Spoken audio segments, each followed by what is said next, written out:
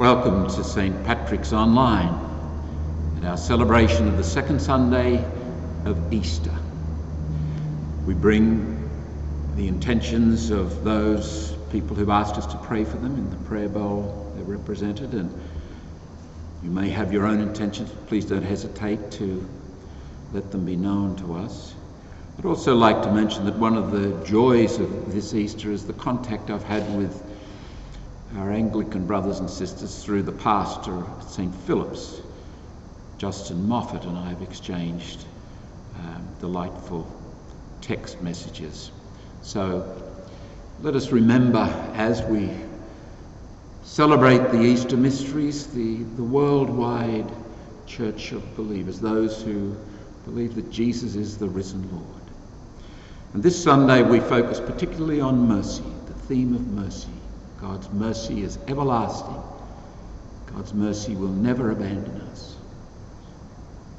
And so we begin in the name of the Father, and of the Son, and of the Holy Spirit. Amen. The grace of our Lord Jesus Christ, the love of God, and the communion of the Holy Spirit be with you all. With As we gather to celebrate these sacred mysteries, let us remember the mercy of God and our need for that mercy.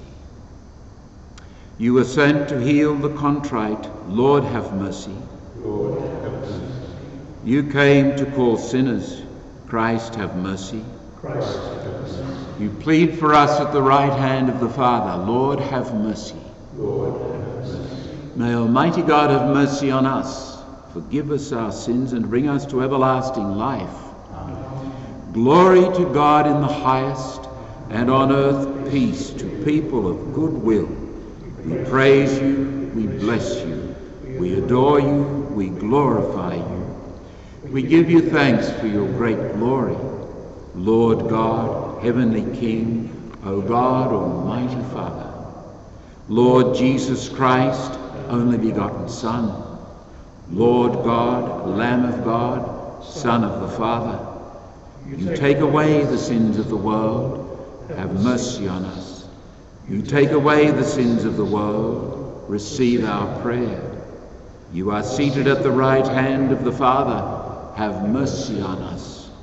For you alone are the Holy One, you alone are the Lord, you alone are the Most High Jesus Christ, with the Holy Spirit, in the glory of God the Father. Amen. Let us pray. God of everlasting mercy, who in the very recurrence of the paschal feast kindles the faith of the people you have made your own. Increase the grace you have bestowed, that all may grasp and rightly understand in what font they have been washed, by whose Spirit they have been reborn, by whose blood they have been redeemed. We make this prayer through our Lord Jesus Christ, your Son. He lives and reigns with you in the unity of the Holy Spirit, one God, for ever and ever. Amen.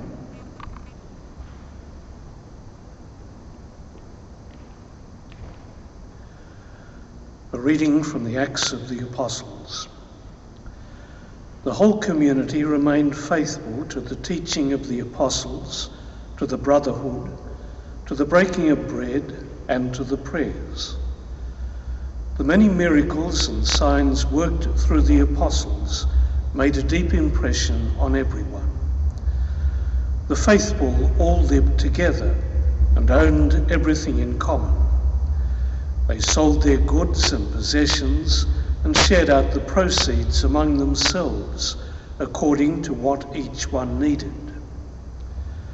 They went as a body to the temple every day but met in their houses for the breaking of bread. They shared their food gladly and generously. They praised God and were looked up to by everyone.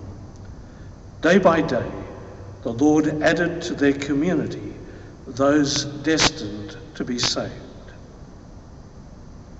The word of the Lord. Thanks be to God.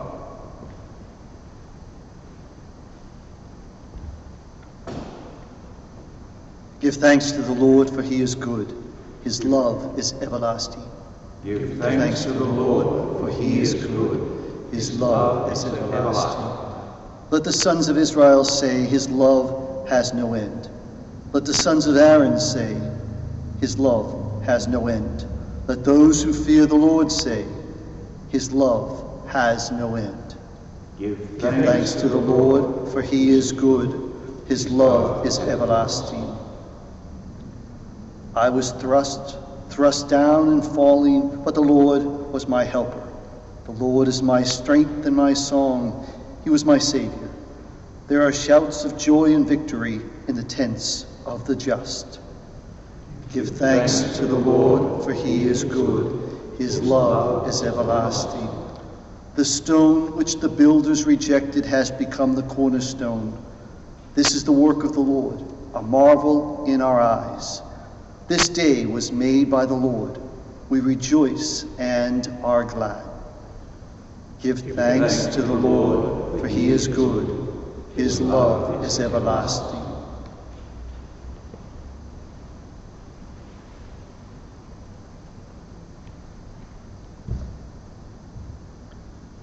A reading from the first letter of St. Peter.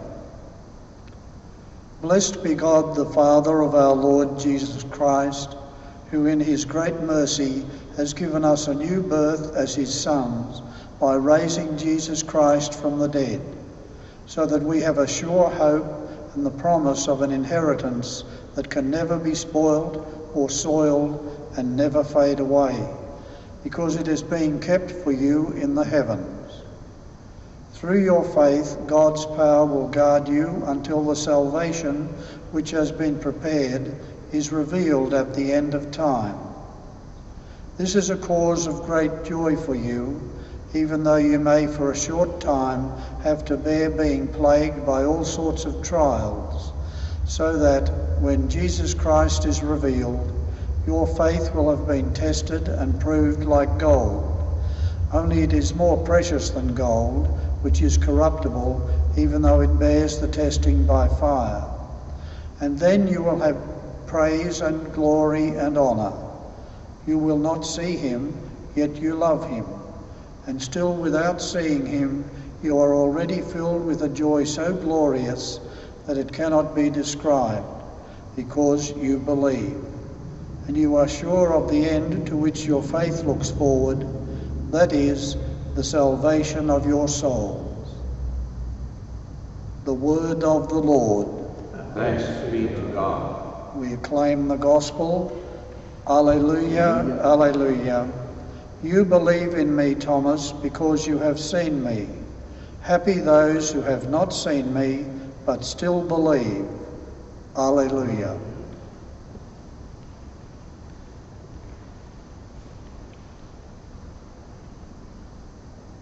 The Lord be with you. And with your spirit, A reading from the Holy Gospel according to John. glory to you, Lord. In the evening of that same day, the first day of the week, the doors were closed in the room where the disciples were for fear of the Jews. Jesus came and stood among them, and he said to them, Peace be with you. And he showed them his hands and his side. The disciples were filled with joy when they saw the Lord. And he said to them again, Peace be with you. As the Father sent me, so am I sending you. After saying this, he breathed on them and said, Receive the Holy Spirit. For those sins you forgive, they are forgiven. For those whose sins you retain, they are retained. Thomas, called the twin, who was one of the twelve, was not with them when Jesus came. When the disciples said, We've seen the Lord, he answered, Unless I see the holes that the nails made in his hands, and can put my finger into the holes they made, and unless I can put my hand into his side, I refuse to believe. Eight days later, the disciples were in the house again, and Thomas was with them. The doors were closed, but Jesus came in and stood among them. Peace be with you, he said. Then he spoke to Thomas. Put your finger here. Look, here are my hands. Give me your hand and put it into my side. Doubt no longer, but believe. Thomas replied, My Lord and my God.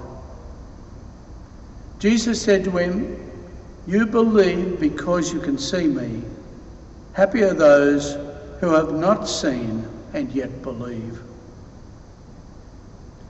There were many other signs that Jesus worked and the disciples saw, but they are not recorded in this book. These are recorded so that you may believe that Jesus is the Christ, the Son of God, and that believing this you may have life through his name.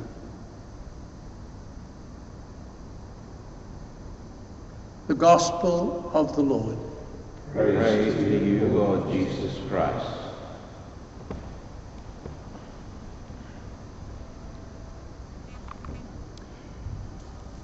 Our Gospel today is taken from the last words of John's Gospel, chapter 20, verses 13 through 31.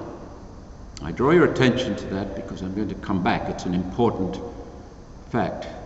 You would also be aware that there is a chapter 21 of John's Gospel, but scholars remind us that that was added later. It doesn't mean it's less important, it's just been added.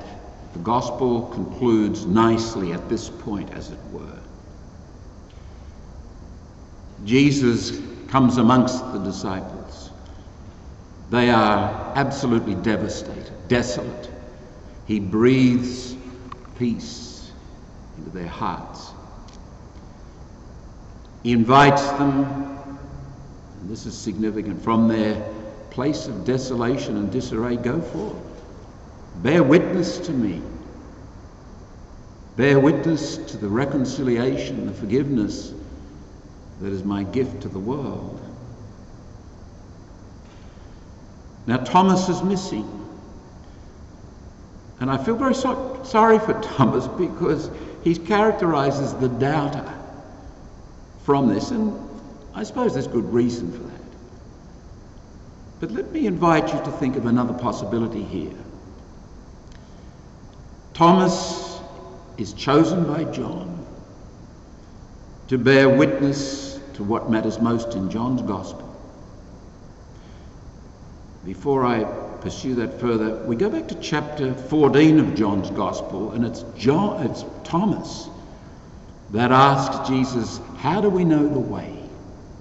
And there's something crucial about that question. Thomas, I'm suggesting to you, is a very, very crucial person, apostle amongst these people. So back to this moment where Thomas says, "I won't believe unless I see." Now, the event is this Thomas gets to bear witness to the wounds. None of the others point to the wounds. Thomas actually puts his hand inside the gaping wound of Jesus' side. The glory of God is manifest in and through the cross. This utterly shattered human being, this frail human being. The last time they saw him, he was a corpse. This is our God. Our God who is eternal, who is finite. Our God who is vulnerable. Our English word vulnerable comes from the Latin word vulnus, meaning a wound. I mentioned a moment ago that these are the last words of John's Gospel. Listen to the first words of John's Gospel from the so called prologue. In the beginning was the Word. The Word was with God, and the Word was God. He was in the beginning with God. All things came into being through him, and without him not one thing came into being. What has come into being in him was life, and the life was the light of all people. The light shines in the darkness, the darkness did not overcome it. The eternal Word is the risen Lord. They are one and the same. In his being, Jesus combines Godhead and the fullness of humanity. Here's something to think about. Is it possible that maybe in our vulnerability, our own woundedness, as church, as individuals, as community, as family, as people living amidst the changed structures that the coronavirus has thrust upon us, there's a vulnerability about that. Is it possible that the way we bear our woundedness and our vulnerability is a way of bearing witness, of proclaiming the good news? That There is something very, very precious happening here in and through our vulnerability. Let us take a moment to reflect Give our minds and hearts to God. And think of the woundedness of our world, the woundedness of your own life and those around you, and how God may be given glory, yes, even in that.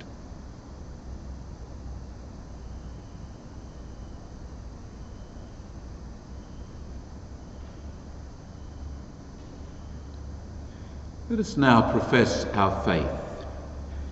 I believe in God, the Father Almighty, creator of heaven and earth, and in Jesus Christ, his only Son, our Lord, who was conceived by the Holy Spirit, born of the Virgin Mary, suffered under Pontius Pilate, was crucified, died, and was buried.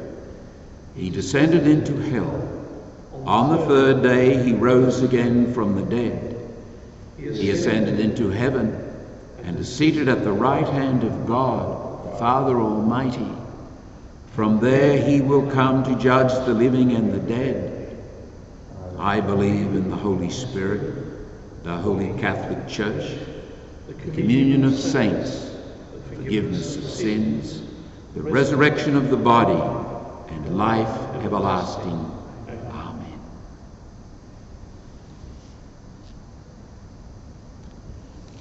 Blessed are you, Lord God of all creation. Through your goodness, we have this bread to offer, which earth has given, human hands have made. It will become for us the bread of life. Blessed be God. By the mystery of this water and wine, may we come to share in the divinity of Christ. He humbled himself to share in our humanity. Blessed are you, Lord God of all creation. Through your goodness, we have this wine to offer. Fruit of the vine, work of human hands, it will become for us our spiritual drink. Lord God, we ask you to receive us. Be pleased with the sacrifice we offer you with humble and contrite hearts. Wash away my iniquities, cleanse me of all my sins. Let us pray that our sacrifice may be acceptable to God, our Almighty Father. May the Lord accept this sacrifice at our hands for the praise and the glory of God's name, for our good and the good of all the church. Accept, O Lord, the oblations of your people, that renewed by confession of your name and by baptism, they may attain unending happiness through Christ our Lord. Amen. The Lord be with you. With Lift up your hearts. Let's give thanks to the Lord our God. It is right and just. It is truly right and just, our duty and our salvation, at all times to acclaim you, O Lord, but above all to laud you yet more gloriously when Christ, our Passover, has been sacrificed. He is the true Lamb who has taken away the sins of the world. By dying, he destroyed our death. By rising, he restored our life. Therefore, overcome with paschal joy, every land, every people exults in your praise, and even the heavenly powers with the angelic hosts sing together the unending hymn of your glory as they acclaim, Holy, holy, holy Lord, God of hosts. Heaven and earth are full of your glory. Hosanna in the highest. Blessed is he who comes in the name of the Lord. Hosanna in the highest. You are indeed holy, O Lord, the fount of all holiness. Make holy, therefore, these gifts, we pray, by sending down your Spirit upon them like the dewfall so that they may become for us the body and blood of our Lord Jesus Christ. At the time he was betrayed and entered willingly into his passion, he took bread and giving thanks, he broke it, he gave it to the disciples, saying, Take this, all of you, and eat. This is my body, which will be given up for you.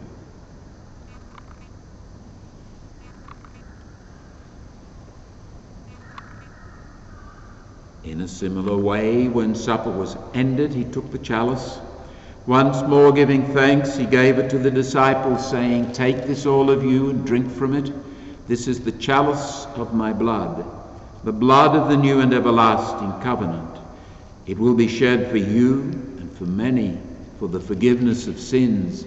Do this in memory of me.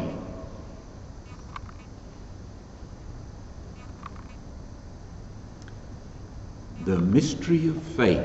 We proclaim your death, O Lord, and profess your resurrection until you come again. Therefore, as we celebrate the memorial of his death and resurrection, we offer you, Lord, the bread of life, the chalice of salvation, giving thanks that you've held us worthy to be in your presence and minister to you. Humbly we pray that partaking of the body and blood of Christ, we may be gathered into one by the Holy Spirit. Lord, remember your church, spread throughout the world, make us grow in love, together with Francis, our Pope, Anthony, our Bishop, and all those who minister your gospel. Remember also our brothers and sisters who've fallen asleep in the hope of the resurrection, and all who have died in your mercy. Welcome them into the light of your face.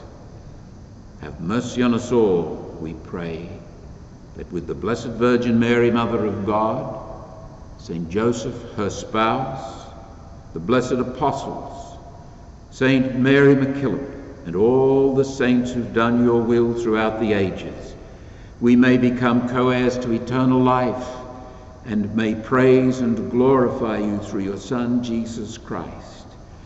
Through him and with him and in him, O God, Almighty Father, in the unity of the Holy Spirit, all glory and honor is yours forever and ever. Amen. Let us pray for the coming of the kingdom in the words that Jesus has given us. Our Father, who art in heaven, hallowed be thy name. Thy kingdom come Thy will be done on earth as it is in heaven. Give us this day our daily bread, and forgive us our trespasses, as we forgive those who trespass against us. And lead us not into temptation, but deliver us from evil. Deliver us, Lord, from every evil, and grant us peace in our day. In your mercy, keep us free from sin, and protect us from all anxiety as we wait in joyful hope for the coming of our Saviour Jesus Christ. For the kingdom, the power, and the glory are yours. Lord Jesus Christ, who said to your apostles, Peace I leave you, my peace I give you. Look not on our sins, but on the faith of your church, and grant us the peace and the unity of your kingdom, where you live forever and ever. Amen. The peace of the Lord be with you always. With. Let us offer each other the sign of peace. Lamb of God, you take away the sins of the world, have mercy on us. Lamb of God, you take away the sins of the world, have mercy on us. Lamb of God, you take away the sins of the world, grant us peace. May this mingling of the body and blood of our Lord Jesus Christ bring eternal life to us who receive it. Lord Jesus Christ, with faith and your love and mercy, we eat your body and drink your blood. Let it not bring us condemnation, but health in mind and body. Behold the Lamb of God. Behold him who takes away the sins of the world. Blessed are those called to the supper of the Lamb. Lord, I am not worthy that you should enter under my roof, but only say the word, and my soul shall be healed. May the body of Christ bring us to everlasting life.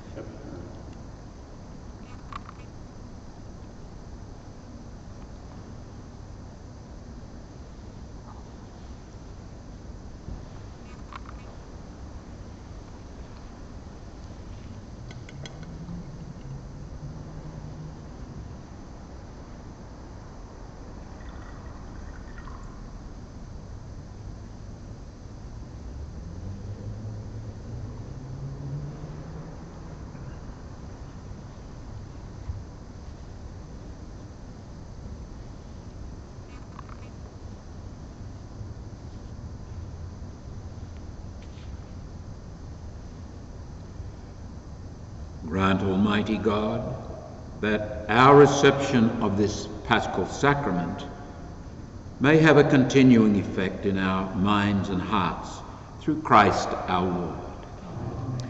Before our final blessing, please join me in the Marist prayer given us by our Superior General, invited to pray for all people as we suffer under the stresses of the coronavirus. Healing Lord, we pray through the intercession of our founder, Father Jean Claude Colin, and Mary, Mother of Mercy, for all people affected by the, new, the corona virus, that everyone may know your love and protection. We pray for all Marists throughout the world, especially for our senior and vulnerable brothers and sisters. May we know your special protection and care. We also pray for all those with whom we share the work of Mary and for all whom we serve in our different ministries. May all people experience your healing and protective grace in all that is happening among us. We make this prayer through Christ our Lord. The Lord be with you. May Almighty God bless you, the Father, the Son, and the Holy Spirit. Let us go in peace to love and serve the Lord.